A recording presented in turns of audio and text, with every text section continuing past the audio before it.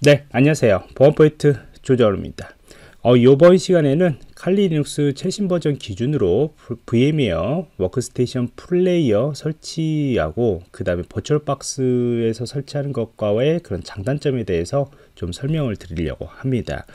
어, 요것을 제가 또 강의로 추가한 이유는 어, 최근에 이제 버추얼박스에다 칼리 리눅스를 설치하는 과정에서 여러 오류들이 이제 발생했다는 예, 그런 질문을 받았고요. 사실 그 오류들은 제가 직접 보지 않는 이상 아니면은 제가 이제 그 구글에서 검색을 해가지고 하나씩 하나씩 해결해 주지 않는 이상은 어, 굉장히 찾기 힘들어요. 그래서 VM웨어 플레이어에다가 설치하는 방법들을 좀 제안을 할 것이고요. 그 다음에 후에 이제 버추얼박스하고 이제 장단점들, 이제 버추얼박스로 설치했을 때의 그런 장점들과 그 다음에 좀 문제점에 대해서도 한번 같이 이야기를 해보려고 합니다. 그래서 여러분들께서는 칼리 리눅스를 사용을 할 때 두 개 중에 어떤 것을 사용해도 상관은 없는데 어, 이 강의를 듣고 선택을 하시면 좋을 것 같아요. 우선은 VM웨어 플레이어에서 칼리 리눅스 설치 같은 경우에는 버추얼박스보다는 조금은 좀 간단해집니다. 그래서 칼리 리눅스 설치 과정을 잠깐 보면은 어, 칼리 리눅스 다운로드 페이지에서 저희가 7zip으로 이미지를 제공을 해주고 있습니다. 이미 이제 설치하는 이미지도 아니면 여러분들이 어, 별도로의 파일들을 받아가지고 그거를 하나씩 하나씩 설치 과정을 해주시면 됩니다. 근데 저는 어, 추천하는 것은 이미 이미지가 되어 있는 이 7zip 압축 파일을 다운로드 받으셔가지고 그냥 불러오시라고 저는 권해드리고 싶고요. 그 뒤에 이제 환경에 맞게 네트워크 등 설정을 해주시면 됩니다. 자 그러면 구글에서 칼리 리눅스 다운로드라고 여러분들이 검색을 하시면은 이렇게 공식적인 칼리 리눅스 다운로드 페이지가 나옵니다. 그래서 이쪽으로 어, 들어가시면은 여러 가지 형태의 파일들을 여러분들이 다운로드 받을 수가 있어요. 그래서 처음부터 저희가 이미지를 가져와서 예, 이게 칼리누스 설치 파일이죠. 설치 파일을 가져와서 설치를 하고 싶다라고 한다면은 요 이미지들을 받으시면 됩니다. 어, 그런데 이제 그 설치 과정들은 그렇게 어렵지는 않습니다. 그런데 이제 다음 다음 다음 클릭을 하셔가지고 여러분들이 맞게 어, 이렇게 뭐 어, 디스크도 분리를 시킨다거나 아니면은 여러 가지 설정들을 여러분들이 입맛에 맞게 하고 싶다. 라고 한다면은 처음부터 설치를 하시면 됩니다. 어, 설치 과정은 어차피 요거는 대비한 환경이기 때문에 그거하고 동일하다고 보시면 될 것 같고요. 어, 제가 권해드리고 싶은 것은 바로 아래쪽에 보시면은 이렇게 VM하고 버추얼박스 이미지가 벌써 제공을 하고 있어요. 이거는 이제 칼리눅스에서 직접 한번 다 설치 기본으로 설치를 하고 여러분들한테 배포하는 형태라 보시면 될 것 같습니다. 자 그러면 이제 VM하고 버추얼박스인데 이전에 강의에서는 이제 버추얼박스에 대해서 설명을 드렸습니다. 이거는 이전 강의를 한번 보시면 되고요. 오늘은 이 VMware 플레이어에서 설치하는 과정들을 볼 거예요. 그래서 여기에서 VMware에서 여러분들이 어, 적절하게 선택하시면 되는데 지금 다 64비트를 사용을 하고 있죠. 여기는 VMware 플레이어 자체가 64비트 환경에서만 설치가 가능해요. 그렇기 때문에 VMware 64비트를 사용하는 것이 맞을 것 같고요. 뭐 상황에 따라 32비트를 사용할 수도 있는데 거의 뭐 지금 사용하지는 않죠. 그래서 64비트를 여러분들이 다운로드 받으시면 됩니다. 그래서 다운로드 페이지 쪽에 들어가시면은 어 이제 토렌트로 받을 거냐 직접적으로 받을 거냐 두 개 선택을 합니다. 그래서 여기에서 64비트 직접적으로 다운로드 받으시면은 아래쪽에 보시면은 7zip으로 이렇게 다운로드가 돼요. 그래서 요거를 받으시면 됩니다. 어, 속도는 보통 한 아침에 아침에 받으면 조금 빠르더라고요. 예, 빨라요. 근데 이제 어느 어느 시간대는 굉장히 느립니다. 그래서 빠른 시간대에 여러분들이 받으시면 됩니다. 그리고 버추얼 그 버추얼 박스 같은 경우는 여기에서 아래에서 받으시면 되고요. 요거는 이전 동영상 제가 참고하라고 이야기를 드렸죠. 자, 여러분들이 다운로드를 받으시면은 어, 저와 같이 최대한 그 D 드라이브의 VM이라는 것을 만들어 가지고 관리를 해주시면 좋을 것 같아요. 어, 제가 교육을 가끔 하다 보면은 어, C 드라이브에다가 이제 이미지들을 압축을 해제하고 또 그 이미지들을 VMware 쪽에서 불러와서 관리하거나 아니면 버추얼 박스로 관리하시는 분들이 있는데 얘네들이 실제 압축을 해제하고 실행하는 과정에서도 용량이 계속 늘어나고요. 그 다음에 나중에 제가 이야기했지만은 스냅샷 기능이란 거, 한마디로 이미지를 그 상태에서 복사를 하게 돼요. 나중에 작업을 하기 전에요. 하기 위해서요. 그런데 그거를 하다 보면은 또 두 배, 세 배 용량들이 늘어납니다. 그렇게 사용하다 보면 C 드라이브가 꽉 차버립니다. 그래서 C 드라이브가 용량이 꽉 차버리면은 또 다른 프로그램들이 실행할 때 문제가 발생을 하겠죠. 그래서 만약 여러분들이 이 VMware라는 것을 가상 환경들을 많이 사용하는 환경이다. 그리고 또 특히 IT 보안 쪽에서 이런 여러 가지 테스트를 하고 싶다라고 한다면은 D 드라이브의 별도의 드라이브를 아니면 외장 하드를 구입을 하셔가지고 이렇게 관리를 해두시는 것이 좋습니다. 용량은 많으면 많을수록 사실 좋아요. 최근에 1테라 정도의 용량들을 또 저는 사용하라고 많이 권고를 하고 있습니다. 그 정도는 되어야만이 여러분들이 저처럼 여러 가지 그러한 환경들, 그 가상 환경들을 구성을 해가지고 테스트를 할 수가 있어요. 그래서 저 같은 경우에도 지금 현재 보면은 이제 칼리 리눅스를 다운로드 받아가지고 버전별로 두 개를 가지고 사용을 하고 있습니다. 그래서 이렇게 압축을 해제하시면 됩니다. 자, 그래서 강의이기 때문에 제가 바탕화면에다가 하나 더 이렇게 복사를 했고요. 여러분들이 요거를 압축을 해제할 때 지금 보면 저 같은 경우에도 반디집으로 풀고 있는데 반디집을 추천을 드립니다.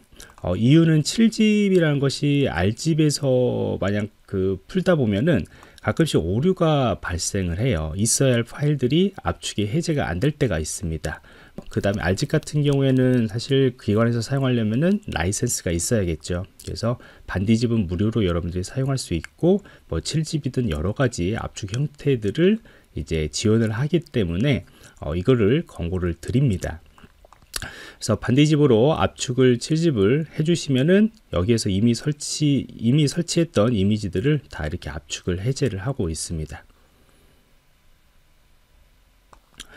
그래서 압축을 해제하는 동안에 여러분들이 VM웨어 플레이어를 다운로드 받으시기 바랍니다. 그래서 VMware 플레이어라까지만 치셔도 다운로드 페이지가 아마 나올 것이고요. VMware 워크스테이션 플레이어 다운로드를 클릭을 해주세요. 음, 만약 여러분들이 워크스테이션 프로를 구입을 했다면 플레이어도 같이 설치가 되고요. 그 다음에 여러분들이 무료로 사용하기 위해서는 Windows용 워크스테이션 15.5의 플레이어 요것을 지금 다운로드 받으셔가지고 설치를 해주시면 됩니다. 어, 요거 플레이어 버전 같은 경우는 여러분들이 어, 사용 버전 아니면 상용 목적이 아니면은 무료로 사용할 수 있기 때문에 어, 학생들 입장에서는 사용하셔도 괜찮고요. 개인용일 때는 사용하셔도 괜찮습니다. 그래서 플레이어, 제가 지금 현재 보는 플레이어라고 얘기를 하죠. 그래서 다운로드 받으셔서 설치를 하시면 됩니다. 근데 이제 저 같은 경우는 설치가 되어 있고 여러분들은 설치가 되면은 이제 컴퓨터를 재시작할 수가 있어요. 그래서 압축이 다 해제하고 난 뒤에 재시, 재시작을 꼭 누르시기 바랍니다. 중간에 누르지 마시고요. 자, 압축을 다 해제하면은 이렇게 폴더 안에 또 이렇게 폴더 안에 이렇게 어, 이미지들이 어, 다 풀린 것을 볼 수가 있습니다. 그래서 VMDK 같은 경우에는 이제 디스크 파일이라는 것이고요. 그 안에서 저희들이 필요한 것들이 VMX 파일, VMX F 파일, 이 파일들이 이제 나중에 불러오게 될 건데 어, 현재 아까도 뭐 이야기했듯이 알집으로 풀다 보면은 일부 요 파일들이 안 나올 수가 있습니다. 이런 문제 때문에 저희가 반디집으로 권해드리는 것이고요. 그러면 요거를 플레이어에서 직접적으로 한번 다운로드, 그, 불러오도록 하겠습니다. 그래서 VMware 플레이어 이런 거 검색하시면은 네, 네. 여러분들은 설치를 하면은 아마 뭐 바탕화면이나 그런 곳에 이렇게 아이콘이 있을 거예요. 예, 그거를 설치하시, 그거를 어, 실행하시면 되고요. 여기서 바로 그냥 불러오시기만 하면 됩니다. 그래서 플레이어 쪽에서 파일에서 open을 하시고요. 만약 여러분들이 설치 파일을 가지고 직접 어, 설치를 하겠다. 하나씩 하나씩 설치하겠다면 new, new virtual machine 이쪽으로 하시면 되고요.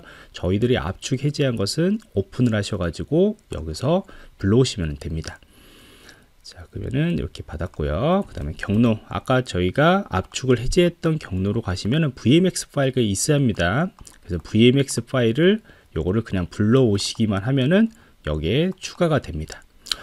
어, 뒤에서 이야기했지만은 버추얼 박스처럼 어떤 오류들이 많이 발생하는 그런 상황들이 발생하지는 않습니다. 네, 그래서 여기에서 불러오고 난 뒤에 여러분들이 필요에 따라서 어떤 네트워크 환경들을 뭐 bridge로 할지 NAT로 할지 이런 것들 아니면 혹은 다른 것들 네트워크를 또 하나 추가할지는 여기서 선택하시면 돼요. 그래서 add를 눌러서 선택 그 추가하시면 되는데 지금 현재 네트워크가 기본적으로 NAT로 되어 있다면은 예, 다른 것들은 건들 필요는 없고요. 어, 그냥 진행하시면 됩니다. 그래서 그냥 플레이어를 누르시면은 여러분들이 칼리 리눅스를 바로 구경을 할 수가 있을 겁니다. 요거는 이제 저희가 그 어떤 거에 권한들을 가지고 갈 것이냐, 이 machine에서 권한들을 가지고 갈 것이냐 해서 I copied를 기본적으로 해주시면 됩니다. 자, 그 다음에 이렇게 화면이 나와야 이제 정상적인 것이고요. 여기서 엔터 누르시면 됩니다. 어, number lock 키가 지금 중간에 계속 이렇게 나오면은 여러분들이 number lock 키를 한번 넣어주시면은 어, 눌러주시면 됩니다. 네.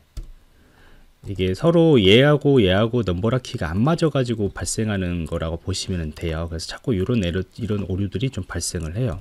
네, 그래서 맞춰주시고 진행하시면 됩니다.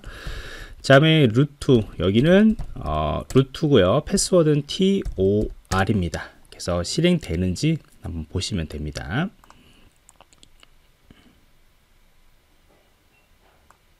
자, 그러면 이게 정상적으로 실행이 되죠.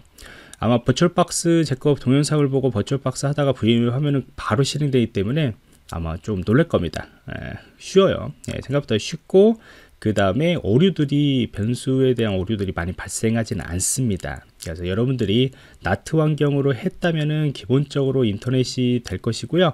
그 다음에 다른 가상 환경하고 통신이 아마 될 겁니다. 어, 아무런 설정을 하지 않았다면요.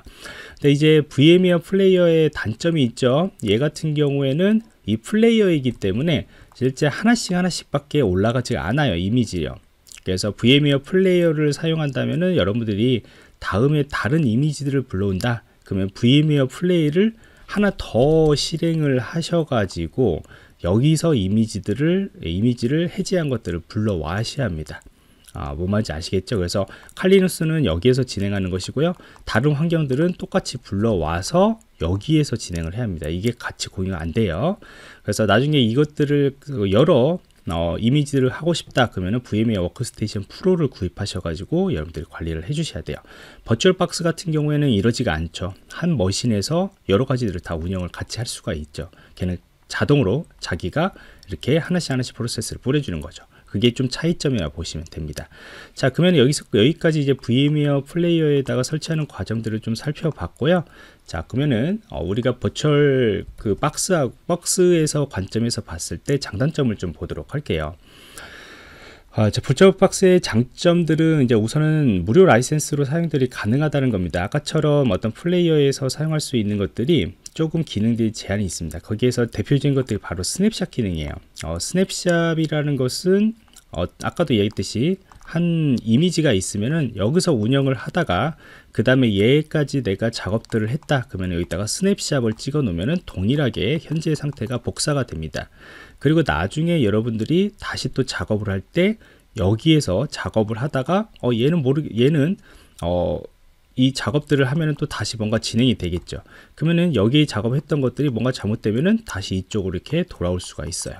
이것들이 바로 스냅샷 기능인데 이 스냅샷 기능들이 버추얼 박스에서 기본적으로 제공을 합니다. 근데 VMware Player에서 네, Player에서는 이것들을 하기 위해서는 Workstation Pro를 구입을 해 주셔야 합니다.